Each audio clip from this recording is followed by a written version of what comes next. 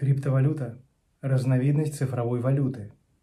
Учет внутренних расчетных единиц, который обеспечивает децентрализованная платежная система. А, короче говоря, криптовалюта – это те же деньги, только их не контролируют ни банки, ни правительство. Ими пока можно расплачиваться только в интернете. Ну или поменять на обычные рублишки и купить себе попец у метро.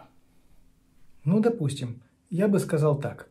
Криптовалюта – это просто число, обозначающее количество данных, расчетных единиц, которое записывается в соответствующей позиции информационного пакета передачи данных.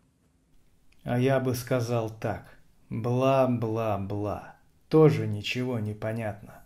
Лучше бы сказал, что за счет шифрования криптовалюту невозможно подделать. Она защищена от мошенничества, конвертации валют и необходимости платить комиссию за переводы. Только не надо говорить, что обычные деньги исчезнут. А я этого и не говорил.